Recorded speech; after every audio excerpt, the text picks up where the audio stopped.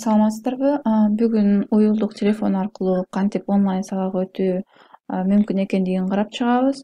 Уюлдук телефон менен сабак өтүүнүн эң эле оңой жолу бул google classroom. Бул тасманы аягына чейин көрүүңүздөрдү сунуштайм. Себеби бүгүн google classroomда киргенден баштап сабакты кантип жүктөйбүз окуучуларга кантип тапшырмаларды бөлүшөбүз окуучулардын жообун кантип алабыз кантип текшеребиз? Башкача айтканда окуучуга баа коюлганга чейинки жолдун баардыгын карап чыгабыз.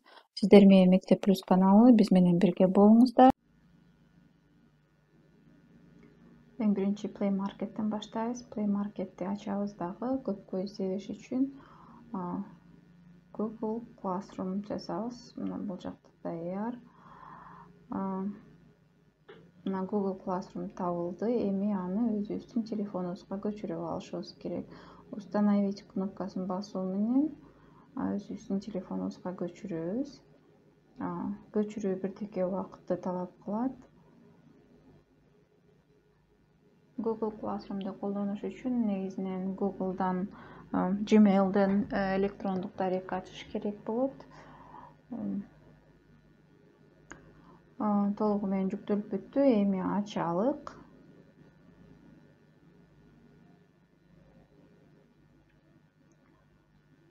google classroomдун бети ачылды бул жакта начать работу кнопкасын басалык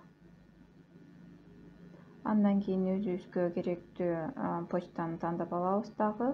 Окей кнопкасын басабыз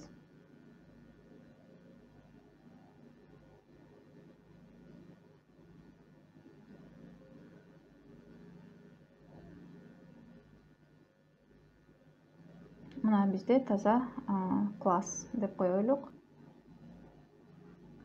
google класстын ичине кирген соң биз өзүбүздүн сабагыбызга ылайыктап э, баракчабызды түзүп алышыбыз керек. Ал үчүн биз создайте курс кнопкасын табабыз. Бул оң жакта өйдө жакта плюс белгисин бассаңыз сабакка кошулуу астында жаңы сабак түзүү создать курс ошол создать курска киребиз. Биз мугалим катары э, кирсек бизге гуглдан болгон келишим чыкты. Муну өзүңүздөр окуп койсоңуздар болот. Өзгөчө э, мектеп мугалимдерине пайдалуу. Андан кийин бул шартты кабыл алсак бул жерге галочка коебуз.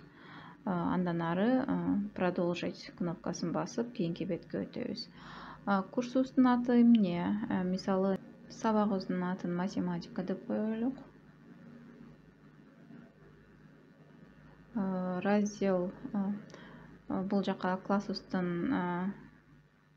кайсы класска сабак беребиз жазып коелук анткени андан башка классты жаза турган жер жок экен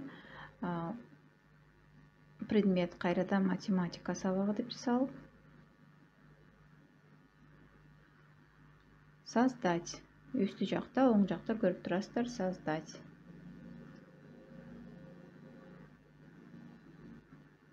Мына биз азыр математика сабагына баракча ачып атабыз. Өзүнчө ошол жерден болгон тапшырмаларыбызды киргизип балдарга жөнөтөбүз.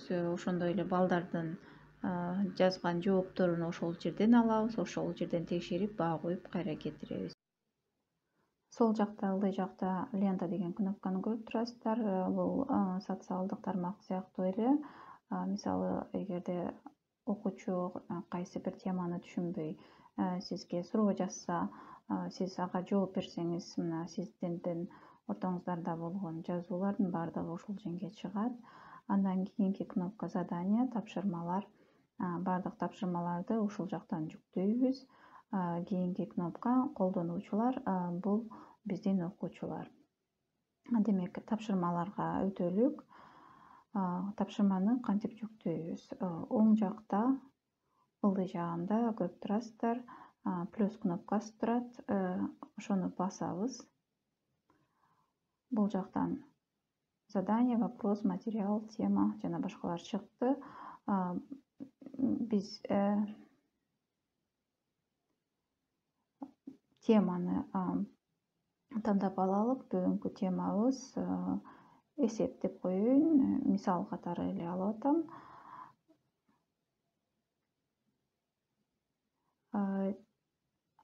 Андан кийин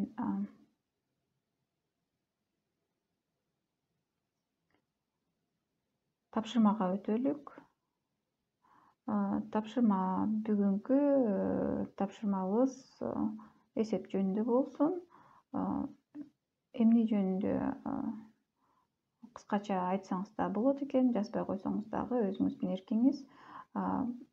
Бул жакта окуучу жооп бергенден кийин анын кылган сабагын жумушун жообун канча баллдык система менен баалайсыз.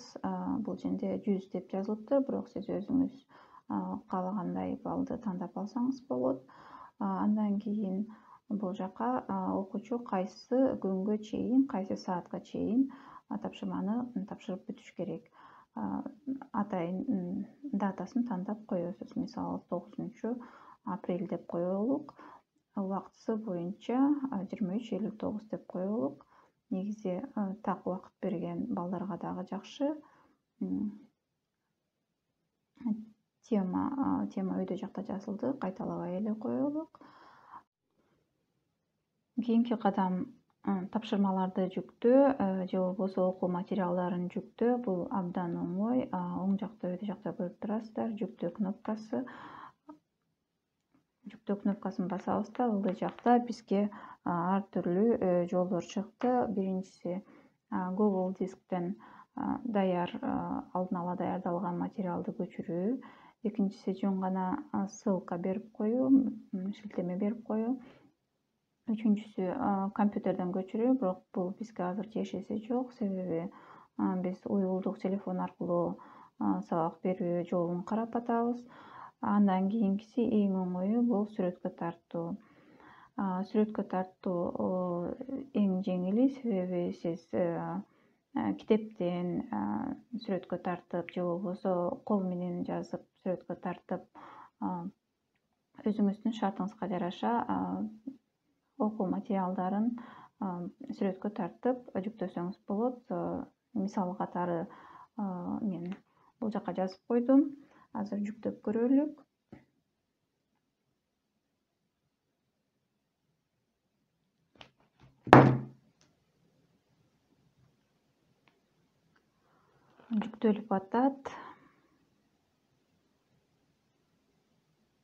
негизи э, телефондон кичине жайыраак болушу мүмкүн.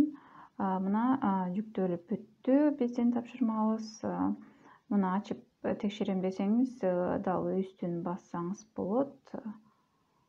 Эгерде жөн гана сапатын көрөм кандай тартылыптыр десеңиз мисалы окуучулар көрүнүктүү болду кайра артка кетелик бул жерде оң жакта кичинекей көз көрүп турасыздар жанында кичине белги. Ошол белгини бассак бул жакта бул тапшырма менен э, кандай э, бул тапшырманы окуучулар кандай колдоно алат ошол жөнүндө сиз уруксааттарды тандап алышыңыз керек. Мисалы бул эгерде окуучу бул материалды жөн гана көрүш керек десеңиз анда биринчисин разрешить только просмотр. Эгерде оңдой алат десеңиз анда разрешить редактирование бул бул убакта баардык окуучулар бир эле документке мүмкүн оңдоо киргизе алат. Андан кийинкиси создать копию для учащихся бул эгерде мисалы сиз ошол сиз койгон тапшырманы ар бир окуучу окусун ар бир окуучунун жообун өзүнчө текшерем деген оюңуз болсо анда дал ушул вариантты тандап алышыңыз керек. Э, биздин э, эки плюс эки барабар төрт жообубуз менен берилген үчүн биз муну э, жөн гана окуучу көргөнгө гана уруксат берелик разрешить только просмотр деп коелук. Андан кийин кайрадан жүктөө баракчасына барсак ошол тапшырмаларды жүктөп аткан убакта эле өзүңүз видео жасап ошону жүктөп койсоңуз мүмкүнчүлүгүңүз бар. Кийинки тапшырма жүктөө жолу бул pdf бул абдан кызыктуу жолдордун бири себеби началык прикрепить новый pdf файл. Себеби бул жактан сиз оюңузда фантазияңызда эмне болсо ошонун баардыгын жазсаңыз болот. Бул жакта карандаш менен жазсаңыз болот же болбосо клавиатура аркылуу бассаңыз болот. Мисалы тапшырма деп коелук эки жинде жок экиге экини кошсок канча болот деп коелук. Мисалы өзгөчө кичинекей балдарга көркөм кызыктуу болот деп ойлойм. Бул жака тапшырмабызды жазгандан кийин оң жакта өйдө жакта сохранить сактоо кнопкасын сөзсүз басышыбыз керек.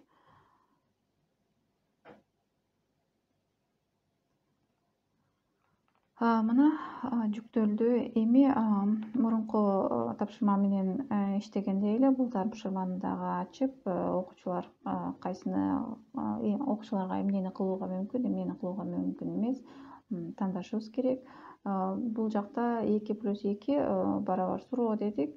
Демек келиңиздер ар бир окуучуга өзүнчө копия жиберелик ар бир окуучу өзүнүн тапшырмасын өзү аткарып кайра салгандай болсун деген максатта создать копию для учащихся.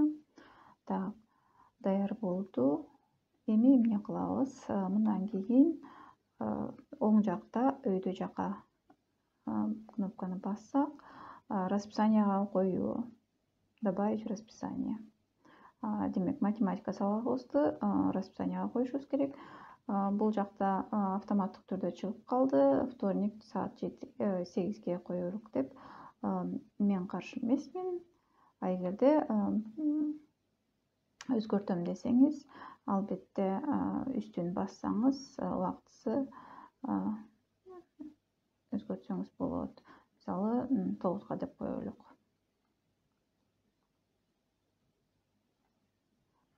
алтынчы класстын математика сабагынын бир темасына даярданып бүттүк эми бул беттен чыгалык бул башында крестикти баскандан кийин астына сизге варианттар чыкты отменить удалить сохранить. Албетте биз муну сактап коюшубуз керек. Эгерде сактабасак биздин жүктөгөн материалдарыбыздын баары жок болот. Кийинки кадам окуучулардын тизмесин киргизелик. Пользователи кнопкасын басабыз дагы. Бул жакта көрүп турасыздар преподаватели. Эгерде сиз жалгыз мугалим болбосоңуз дагы жаныңызда мисалы англис тили сабагы эки мугалим өтүшү мүмкүн. Башка мугалим болсо анын атын бул жактан киргизесиз эгерде жок болсо анда бир эле мугалимдин атын калтырсаңыз болот. Мына окуучулардын тизмесин ылдый жактан киргизебиз бул жакта плюс белгисин басып. Окуучуларды сабакка чакырыш үчүн эң биринчиден окуучулардын тизмесин түзүп алышыбыз керек. Бул жакта көрүп турасыздар. Учащийся маңдайындагы кичинекей э, белгини басабыз баскан соң бизди э, кийинки бетке өткөзөт э, бул жактан атайын электрондук адрес жазылуучу жер ачылат дал ушул жерге окуучунун электрондук дарегин жазасыз дагы кийинки бетке өтөсүз бул бетте мына сиз электрондук даректи киргизгенден кийин добавить получателя деген атайын белги чыгып калат кайрадан бул белгини дагы бир жолу басыңыз. Мына биздин э, биринчи окуучубуз даяр. Эгерде дагы окуучуларыңыз болсо астына ушул эле жол менен окуучулардын даректерин бул жака киргизсеңиздер болот. Эгерде окуучулардын тизмесин киргизип бүткөн болсоңуз бул жакта пригласить деген чакыруу деген кнопканы басуу менен окуучуларды сабагыбызга чакырып алабыз. Окуучулардын порталынын функциялары дагы абдан көп сиз тапшырма жүктөгөндө кандай мүмкүнчүлүктөрдү колдонгон болсоңуз окуучулар дагы ошондой эле жолдор менен сизге жасаган тапшырмаларын кайра жөнөтө алышат. Google classroomдун толук иштеши жөнүндө толук э, түшүнүк алыш үчүн азыр окуучулардын порталына өтөлүк ал жерде бир тапшырманы атайын туура эмес эсептеп жазып кетем. Себеби эгерде окуучу тапшырманы туура эмес аткарган болсо кайра окуучуга тапшырманы кантип жөнөтөбүз? Ошол тууралуу да кичине айтып кетем.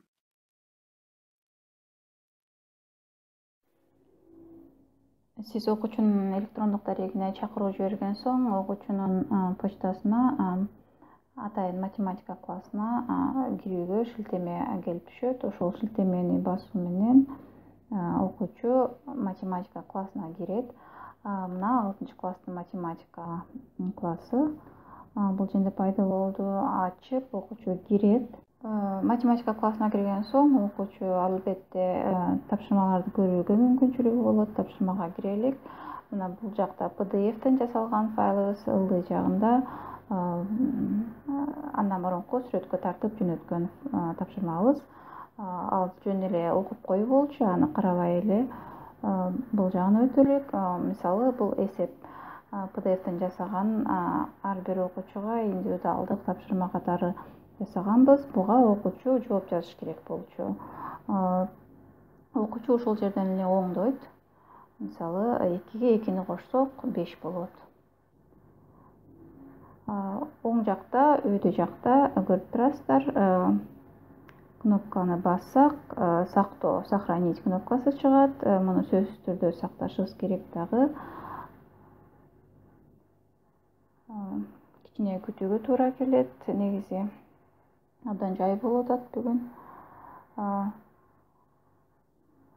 Ылдый жакта көрүп турасыздар моя работа деген жазууну. Бул жакта белгини бассаңыз мынакей дагы бир окошко ачылды. Мында жаңы эле биз оңдогон pdf документи турат.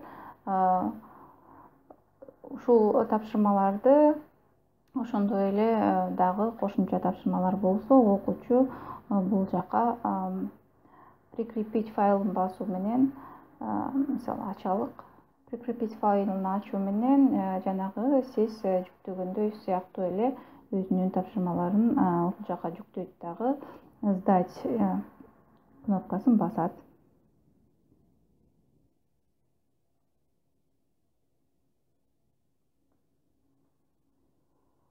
Бүттү окуучу сабагын сизге жөнөттү окуучу аткарды дагы жөнөттү. Дагы бир функциясын көрсөтүп кетким келет. Бул жакта окуучу комментарий жазса мисалы качан сабак башталат десек мисалы ошол жерге жазып жиберсе бул сиздин лентаңыздан чыгыш керек. Эми кайрадан мугалимдин порталына өтөлүк. Бул жактан көрүп турасыздар кызыл точка. Бул э, демек сизге э, маалымдама келди маалымдаманы ачасыз. э, бул окуучу сизге болгон тапшырмасын кайра жиберген экен. Демек бул жакта көрүп турасыз комментарий качан деп жазган экен. Сиз кайра жооп кайтарып койсоңуз болот жөн эле жазып коеюн. Бул дагы сиздин лентаңызда чыгат.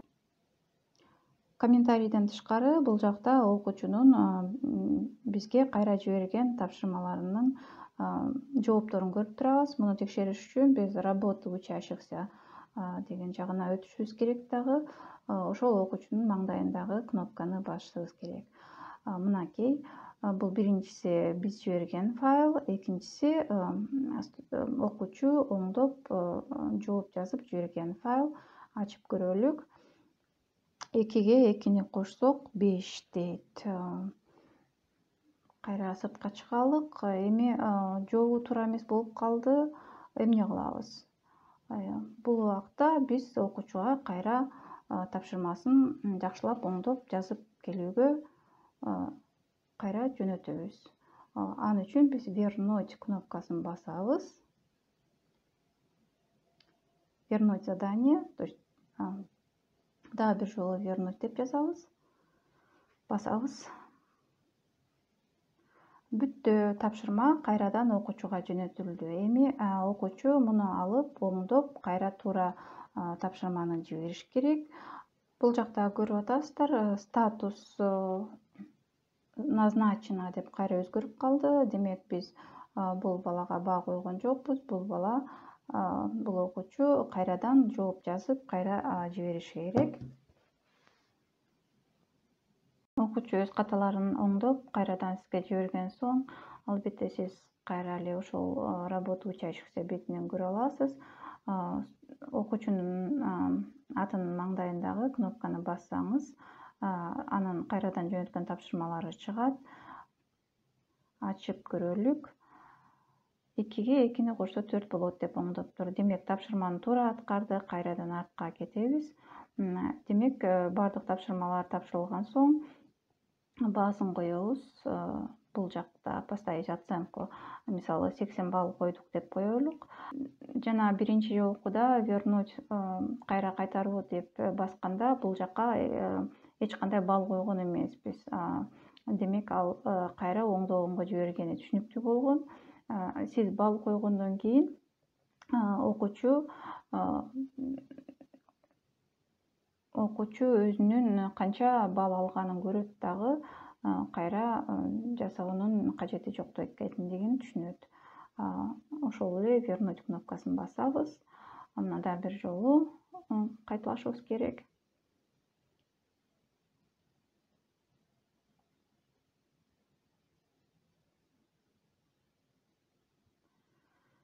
Бүттү ушинтип